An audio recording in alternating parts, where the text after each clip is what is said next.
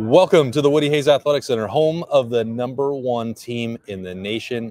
And you know how much the College Football Playoff Selection Committee rankings mean in here for the Ohio State podcast. that is Bill Landis. I am Austin Ward. It's Snap Judgments. It is brought to you by Byers Auto. So uh, here's the quick hitter. Does any do any of the players care? No, no, No, they don't. No, Did Ryan Day care? sure didn't. Sure didn't. What are they worried about? Beating Rutgers. Beating Rutgers. All right, that's Yeah. the those are the bullet points Did for I that. pass? I- I Beat R doesn't even make it onto the board on a Wednesday Yeah, night, by the so way. yeah. So November is about focusing on the block O only and then trying to get Ohio State healthy. That conversation starts with the quarterback. Bill, what did you hear, learn, observe from Kyle McCord? I mean, he had his ankle taped, which is not uh, unexpected. Watched him like throwing a little bit, seemed comfortable. You know, said said the company line that everyone's saying that you know you play through it. It it sucks. It hurts more uh, sometimes than it does at others, but um, seems like uncomfortable maybe more than anything else. I don't I don't I mean I don't want to speak for him, but it seems like not not so much like you know intense pain as it is like man this is a little bothersome. So Yeah, we wanted to figure out both from him and Ryan Day like, if it impacted the mechanics, if that was part of some of the inconsistency, and it.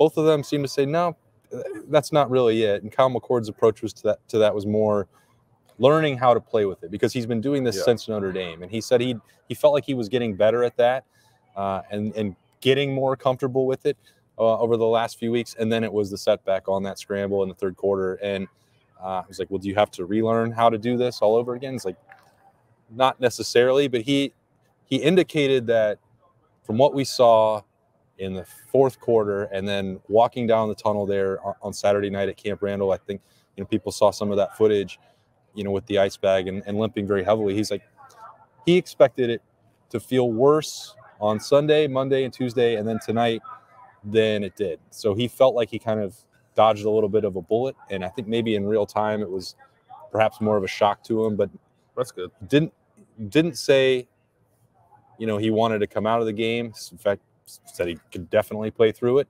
um, and still what still was going to still did and he's still gonna do that on saturday at rutgers It is a thing. I heard um, it was an NFL player, it might have been Jason Kelce, talking about like you get hurt, and on Sunday, like the adrenaline gets you through it. Maybe a little something else gets you through it, and then what could for- that be Yeah, you know, drugs. Um, on uh, like, and then you like practice on Sunday, and that helps for Ohio State's purposes. Like Monday, you don't do anything. I can imagine like coming out on Tuesday and being a little concerned about what that might feel like. But and we didn't get to watch practice, right? We just saw him kind of walking around out here on Wednesday afterward, but. I wouldn't say that he looked like out of the ordinary. He was walking, moving fine, throwing fine, like moving his feet fine in terms of mechanics as a quarterback. So I think it, I think it's one of those things where like he's good up until the point where someone bangs on it again, and then you got to figure out how to play through it. But um, I really don't. I don't. I don't think it is tremendously impactful on his throwing ability, but I'm sure it impacts it on on certain throws. Devin brown was back in the black non-contact uh, jersey so we saw him throwing after practice as well uh, but so where kyle mccord just has tape on his ankle devin brown had tape and a pretty bulky brace looked like it was protecting the high ankle there Mhm. uh, a little bit of a, a limp there. So, you know, Ryan Day's um, evaluation of that was get him back out there to practice, see how he responds, then make a decision and, and a determination later in the week on if he could potentially play on Saturday. But given the nature of the injury, uh, you know, if it was close for him and then Kyle McCord and Devin Brown were the same, like it's hard to see how he could come in and like help in the red zone Yeah, right. uh, this particular week. Now I don't know. It's only Wednesday. There's still two more days after that. It felt like when Ryan Day says publicly it's going to be a couple weeks. Usually you can take that to the bank. Uh, so this he's only missed the one game. Uh, I think he's probably more likely than not to miss the second, but he is back at practice, so that that's a step in the right direction. And Ohio State's trying to get a bunch of guys closer to full strength by the end of November. Not trying to take anything to, for granted against Rutgers, but that's that's where the target lights are. Yeah, I mean, they're then like it sounds like Emeka Egbuka is kind of doing his stuff at practice now, and no one is saying like he's definitely going to play, but everyone's talking as if they're expecting that to happen. And of course, like Ryan Day kind of let that out of the bag when he said he could have played last week if they wanted to play that cautiously. So we, I didn't see him. Did you see him? I saw he was one of the, the the wide receivers came off one of the first groups, but I, I saw him. He was in full uniform. Kyle McCord said that he looked fantastic in practice. And how excited he was to get him back on Saturday, if he plays on Saturday. He said that that he looked that way in practice last week too, and he thought he was going to play before they ultimately decided to be cautious. So Yeah. you can understand that approach, but it's gosh, it certainly feels like a safe bet right now. Donovan Jackson said something similar. He said like uh, getting mecca back is going to be whatever. Then he stopped himself and be like, if we get a Mecca back, it's like all right, we, we know what the deal is, and it's like it's about right it's the, the timeline for like an ankle sprain, whatever, whether it's high, low, whatever. It's been three weeks now, right? So that that I think matches up with what you'd expect, which is why like I don't. Devin Brown, if like Kyle McCord looked more or less comfortable to me, Devin Brown did not look comfortable and certainly could not play with the apparatus that he had on his leg if they had a game tomorrow. But I guess that can progress and, and get a little better. But if if there was any thought on Tuesday, like, oh, Devin Brown might be available to play against Rutgers, maybe do the red zone thing or like spell Kyle if something happens to Kyle, I actually don't think that's likely to happen. Yeah, we'll see. And then one to to monitor that's just been kind of hinted at by by Ryan Day in Ohio State uh, was Cade Stover battling through some sort of injury. That would appear to be his knee.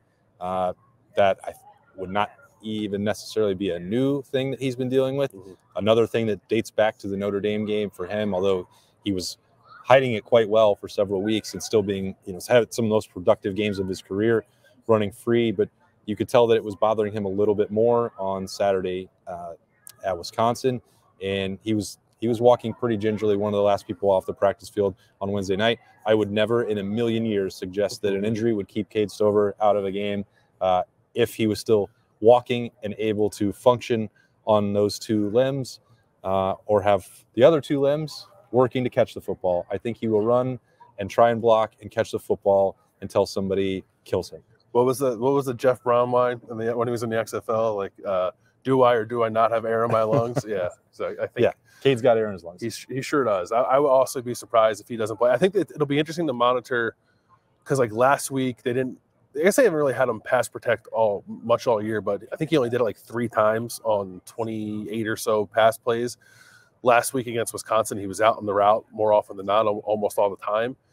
And I felt like maybe they weren't asking him to run block as much, but like now it makes me want to go back and, and look at that and maybe chart that a little bit to see if they're trying to I don't know, protect him a little bit in, in that area, especially like, you know, Gee Scott's coming on and I think blocking pretty well, or at least better than he has previously. So there's an ability there, I think, to spell Cade a, a little bit if they want to. Not not play for Cade, but like when you're playing the two tight end stuff, maybe like put G in a spot to take on the brunt of that more than Cade. Cade Well, let's let's spitball this since you brought it up, Bill. So some of the creative things in the run game and the orbit motion with Xavier Johnson, and Mhm. there was the the toss play. I think there was maybe you know trips formation where they tossed to that and had wide receivers Yep. out. block. I don't. Maybe Cade was involved with that. I, I it's again a thing that we could have checked before talking about it right now, but maybe they stumbled upon some other concepts while trying to work around Cade's Yeah. injury on Saturday. That's just a.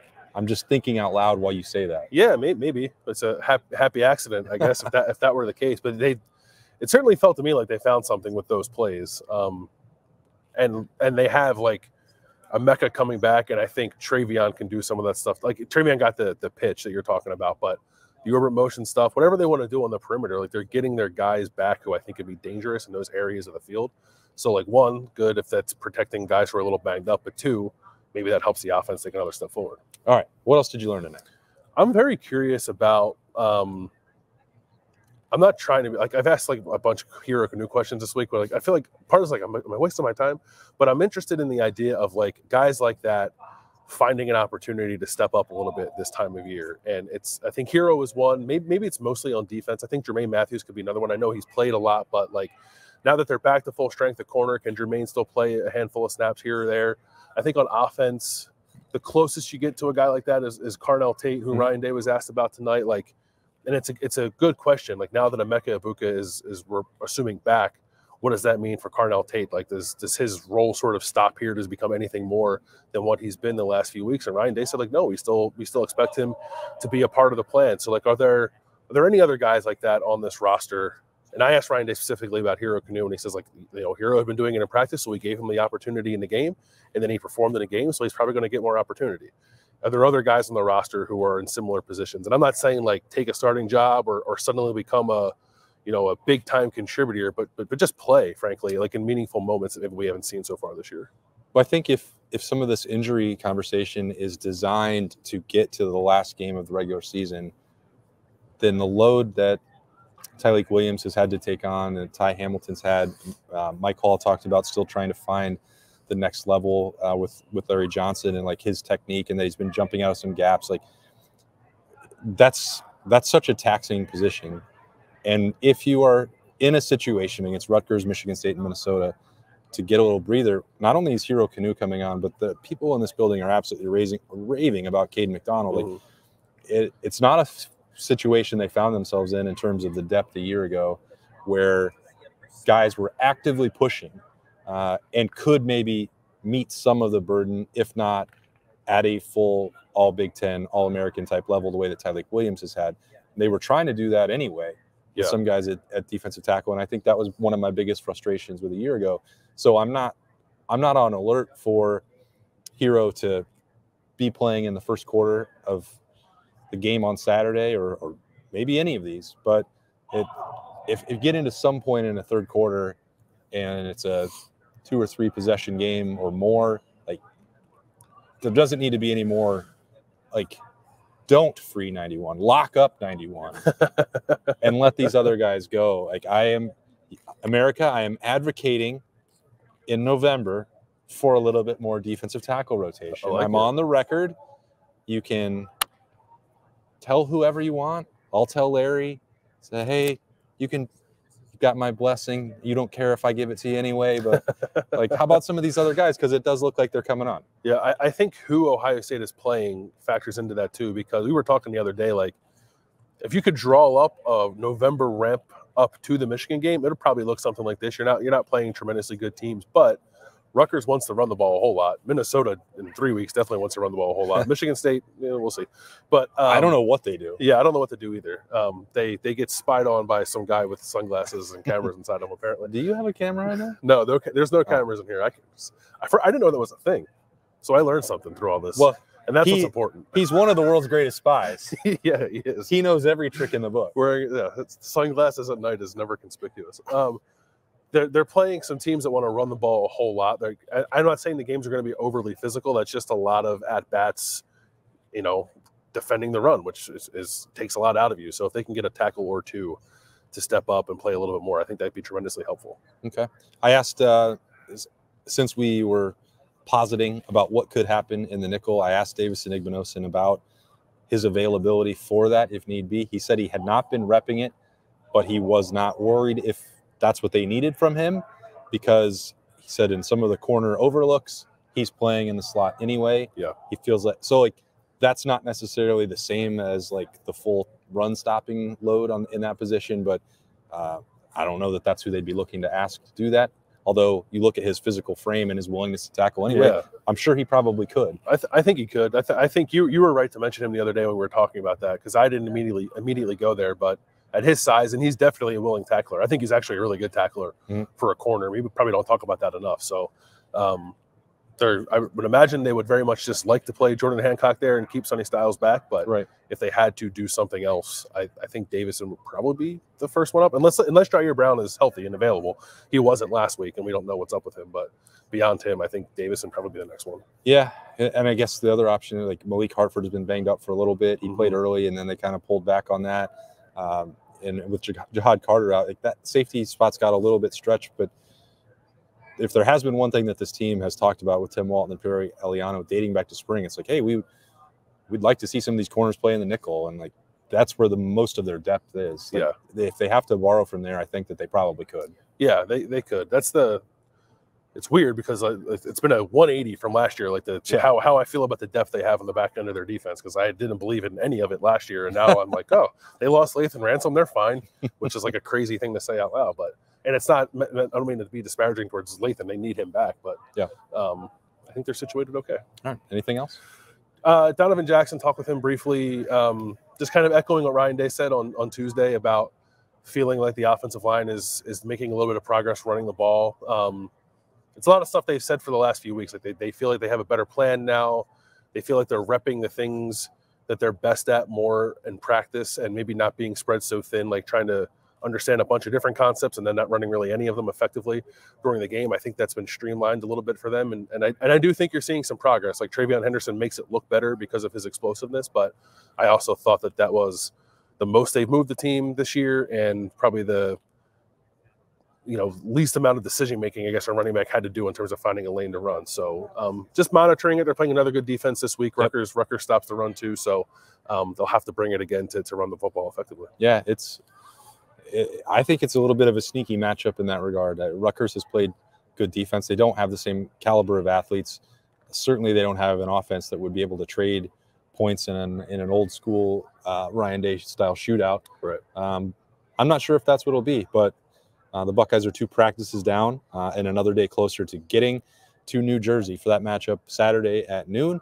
Uh, thanks for joining us for some snap, snap judgments in here on a Woody Wednesday. They are brought to you by Byers Auto, the best place in Central Ohio to buy a new or used car. That is Bill Landis. I am Austin Ward. Thanks again for joining us. We'll talk to you later.